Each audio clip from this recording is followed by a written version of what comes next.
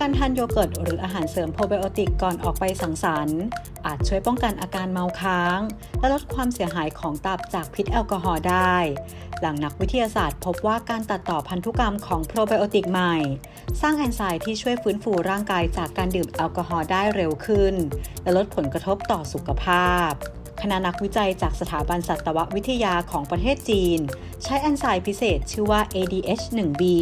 ที่มีความสามารถในการเร่งการเสื่อมสภาพของแอลกอฮอล์เมื่อเข้าสู่ร่างกายเอนไซม์พิเศษที่ได้จากการจัดระเบียบพันธุกรรมของโพรไบโอติกใหม่ เมื่อนำไปใช้กับร่างกายของหนูทดลอง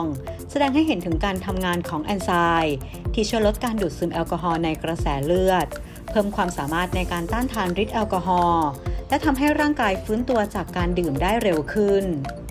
ตามปกติแล้วร่างกายของมนุษย์จะใช้เอนไซม์เรียกว่า alcohol dehydrogenase หรือ ADH ในการย่อยสลายแอลกอฮอล์ในร่างกาย แต่จากงานวิจัยชิ้นนี้พิสูจน์ว่า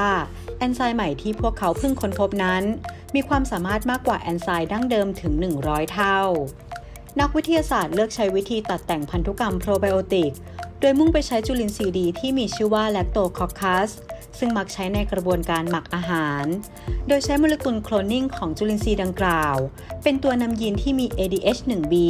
เข้าไปติดกับสารพันธุกรรม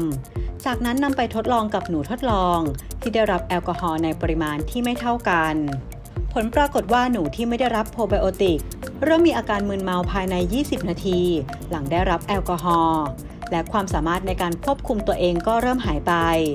พวกมันไม่สามารถหมุนตัวกลับได้เมื่อถูกจับให้หันหลัง ซึ่งต่างกันกับกลุ่มที่ได้รับโปรไบโอติกที่ยังสามารถควบคุมตัวเองได้แม้ได้รับแอลกอฮอล์ไปมากกว่า 1 ชั่วโมงแล้วก็ตาม